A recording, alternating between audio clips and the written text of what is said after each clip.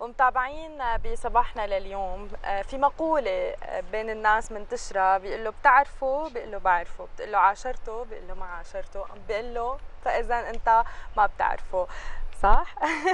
لأنه أستاذ وسام باذني عم يأكد لي هي المقولة يلي هي كثير منتشرة بين الناس والأخذ والعطاء بقصص وتفاصيل العالم من غير ما نكون نحن بنعرفهم لهيك خلينا نحكي أكثر كيف نحن لازم ناخذ أول فكرة أول انطباع؟ كيف فينا نحن نقيم العالم صح جواتنا؟ نحكي أكثر عن هذا الموضوع مع الدكتورة خيرية الأحمد أخصائية نفسية اجتماعية. صباح الخير. سعد صباحك وسهلا فيكي. صباح النور يسعد صباحكم. يسعد الخطبة. يبارك بعمرك وعقبالك مبروك الخطبة مثل ما قالت ليا خلينا نحكي بالبداية خلينا نحكي عن مظاهر الأحكام المسبقة.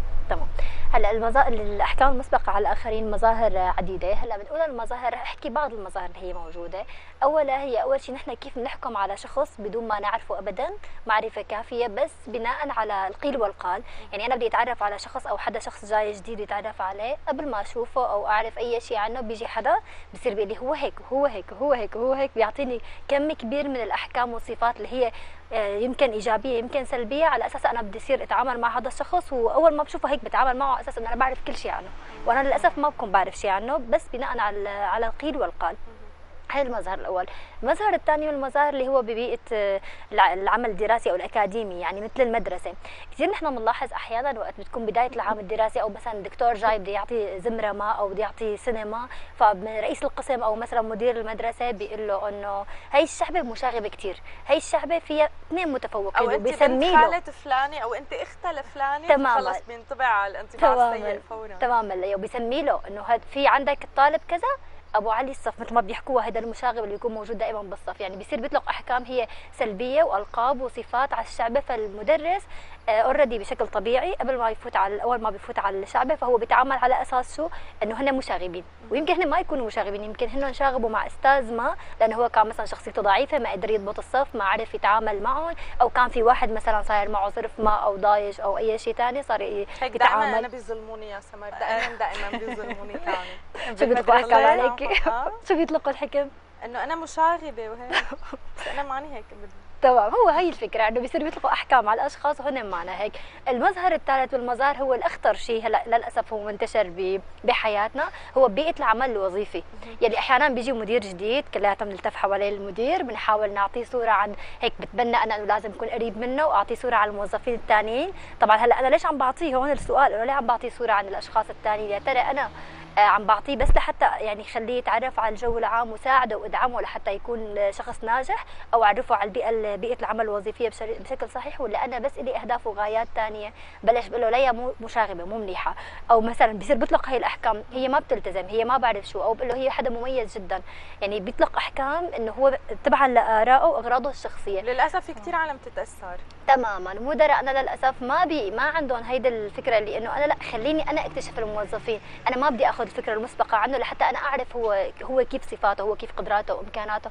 لأنه إذا أنا ما عرفت وتعاملت معه بناء على رأي بعض الأشخاص ورأي واحد اللي هو بيكون أكثر صعوبة فأنا هون كثير عم سبب ضرر وعم شكل خطورة على على الشخص بحد ذاته أنا عم بطلق حكم عليه وبنفس الوقت على بيئه العمل الوظيفيه ككل وعلى المجتمع بحد ذاته كمان. أكيد. آه، خلينا نحكي كمان آه، مثل ما حكينا إنه الأحكام المسبقة. بس كمان في بنفس الوقت يمكن أتعرف مثلا على شخص أول مرة باخذ فورا أنا انطباع مني لحالي عنه. يعني مثلا متى هلا مثلا نحن شفنا بعض يمكن أنا أخذت أو كونت صورة بسيطة عنك. خلينا نحكي عن هذا الموضوع. قديش له سلبيات وقديش له مثلا إيجابيات. يمكن تكوني أنت مثلا اليوم متضايقة عندك ظرف مو مريح فأنت جاي لعنا مثلا من غير مثلا ابتسامة باينه متضايقة مو هي شخصيتك الحقيقية. خلينا تمام. نحكي عن هي القصة. تمام. هلأ اللي حكيتيه كثير مهم. انطلاقا من ما اللي حكيته ليا أول شيء إنه أنت بتعرفه قال له بعرفه إنه إحنا كلياتنا بنطلق أحكام على الشخص. إنه إيه أنا بعرفه شفته بعرفه شفته مرتين؟ تمام. قاعد أنا وياك مرة مرتين. إنه قاعد أنت وياه مرة مرتين لتحكم عليه. مثلا أنت مثل ما قلتي هلأ إنه أنت شفتيني مثلا أنا بموقف ما يمكن كثير مرتاحة. يمكن أنا شايفة حدا بحبه أو مثلا قاعدة متلقية النجاح أو أي شيء. فأنا هلأ كثير مبسوطة. موقف ثاني يمكن يكون لا يمكن انك بظرف بكون أنا كثير معصبة فانت شفتيني بالوجه اللي هو كثير غاضب وكذا فأطلقتي علي هي البنت كثير عصبية أو هي البنت لئيمة ما عاد تماماً. مثلا اطلع معها وشوفها. لأنه لئيمة وقلبة وشها أو نكديه تماما مثلا هيك مثل ما تماما. هي هي القصة ترتبط بكثير عوامل هلأ في بعض الأشخاص مثلا في عندك علم الفراسة هو علم موجود بحد ذاته بناء على دراسات إلى إلى إلى الأمانة العلمية لها يعني هي مو دراسات هي عشوائية لا أكيد منظمة وعلمية بس كمان ما بيصير المبالغه فيها لأنه أنا ما فيني أطلق على أي شخص هو حكم إنه هذا شكله هيك فهذا شكله مجرم هذا الشخص هو مثلا بشرته صفراوية فهذا لئيم لا هي المصطلحات لا- شغلة. مهمة عندنا شغلة مهمة في عالم مثلا بترتاحي لهم نفسيا يعني. سب- سبحان الله هي بتيجي مثلا بتشوفي شخص بترتاحي بتقدري بتاخذي وتعطي بيقولوا معه. مريح قريب من مريح القلب. قريب من القلب. وأشخاص لا بعيدة عن القلب يعني إنه تمام. هي هيك. يعني خلينا نحكي كمان عن هي- هي القصة. إيه. تماما. هي كثير لها كمان لها يعني لها مؤشرات أو دلائل. لهذا الشيء أحيانا بيكون وجه الشخص هو مريح فيه رحمانية بشكل وجهه. يعني بشوش ورحماني بريء مثل ما بيقول نحب براءه الأطفال. نطلع بنظرة الأطفال وقت تكونوا معصبين أو هيك متضايقين. لأنه آه، في في نوع من البراءة بوجههم في نوع من الرحمانية. فهذا الشيء مريح. الشيء الثاني هو بيكون طبيعة التعامل معه. مثلا مريحة شخص مزوحي شخص لطيف مو شخص نكدي معصب أنا بحكي معه ما بعرف كيف بدي أقول له كلمة المرحبا. يعني خاف أقول له كلمة المرحبا يقوم يعيط علي أو يزورني أو يتبع أسلوب هو ما صح معي. لا بالعكس بيكون بشوش عم بيتعامل بطريقة كثير راقية وبالإضافة للطاقة.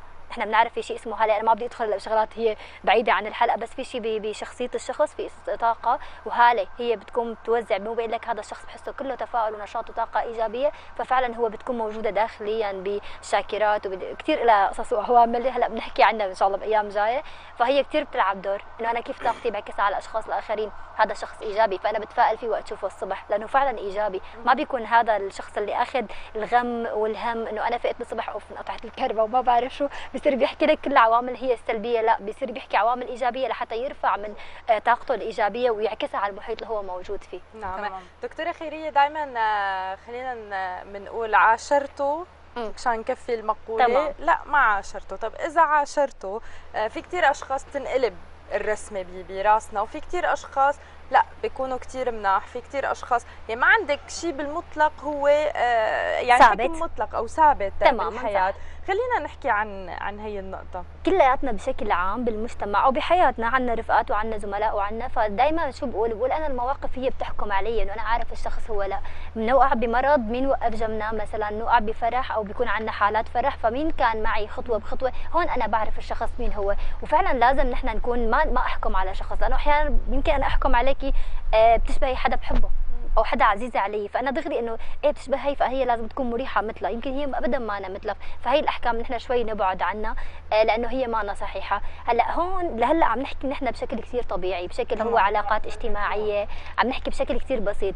بس بدنا نحكي على شغلات اللي هي أخطر من هذا الموضوع. وقت نحن عم نقول إنه كيف أنا وقت يطلق أحكام سلبية. يعني تمام. أنا عم بكون اتجاهات رأي عند شخص ما تجاه شخص آخر هو سلبي بحت. هون الخطورة بتكمن هلأ كل شيء حكيناه هو بالعكس أمر طبيعي وحالات طبيعية. متعاملة بواقعنا الاجتماعي.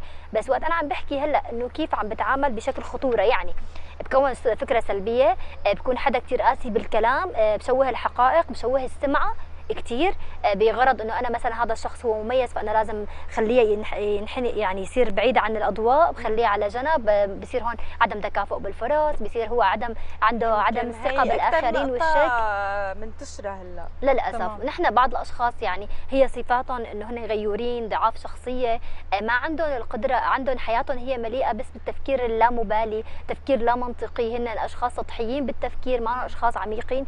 فهن همهم عندهم الثقة ب- بشغلهم تماماً. بشكلهم بكتير قصص. تماما. يعني همهم وشغلهم الشاغل بتلاقي بعض الصفات بعض الأشخاص هن من طباعهم الأساسية إنه مبدأ القيل والقال. يعني ما فيه بيقول لك أنا ما فيني إذا ما حكيت. فعلا وعندهم هي العادة هي مكرسة وعادة سلبية بحتة يعني.